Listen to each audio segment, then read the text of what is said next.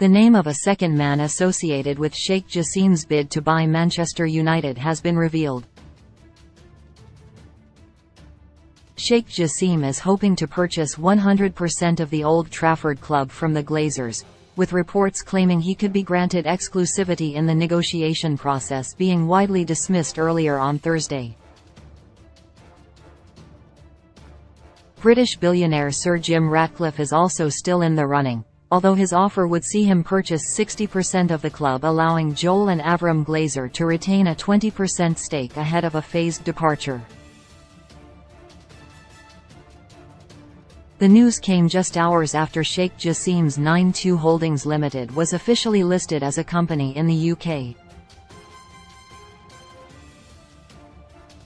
The company was incorporated by government agency Companies House on Thursday, June 15, with the Sheikh listed as one of two directors. Documents published on the Companies House website list Sheikh Jassim as an individual person with significant control of the company. He is listed as one of two directors, alongside Abdulrahman Abdullah Al-Ansari. Al-Ansari's date of birth is listed as August 1991, making him 31.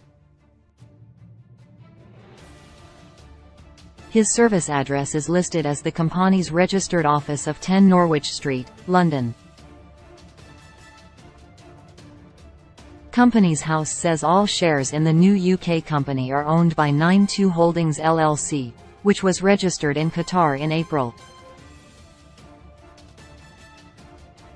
Al-Ansari is listed as a director, while Sheikh Jassim will have significant control of the company.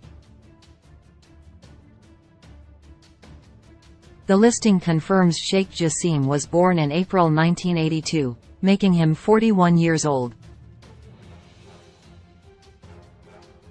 He is said to be a lifelong United supporter and is the son of former Qatar Prime Minister Hamad bin Jassim bin Jaber Al Thani. Al Thani received his education at the Royal Military Academy in Sandhurst, England, where he graduated as officer cadet. He presently holds the position of chairman of QIB, Qatar Islamic Bank, one of the top banks in the nation that was founded in 1982.